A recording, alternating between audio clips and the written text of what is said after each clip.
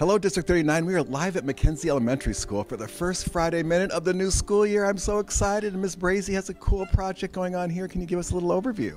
Um, sure. So we wanted to start the school year off right, and we're really focusing on a growth mindset. So we've asked both students and staff to create a self portrait. Um, we don't want our students to focus on the idea of I can't draw. Um, so we're really trying to help them teach their teachers that they can draw if they just put their mind to it and practice. That is so cool because I was never felt like I was a good drawer, so this might be a good opportunity for me too. So, what's your name? Sarah. Sarah, tell me a little bit about what you're doing today. Um, well, so right now I'm drawing my, like, the hair and ears for my, like, little person for, um, and then after I'm gonna color it in. Cool. And your name, sir? Owen. Owen, uh, tell me a little bit of insight that you have with this project.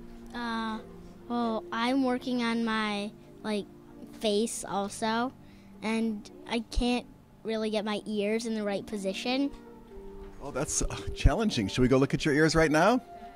Let's go have a peek. Okay, here we are at the final product. And your name is, sir? My name is Neil Simonshaw. Neil, tell me what I'm looking at here. Um, you are looking at our Where's Waldo project, and there's going to be a bunch of kids' self portraits and Waldo. And Miss Brazy is going to have a list of people you're supposed to find, like Dr. Walter and um, her. And you're probably going to find yourself here. That's kind of cool. And where's Waldo? I don't know where Waldo is. That'll be next time. There you have it, District 39, live at McKenzie Elementary School, another Friday Minute.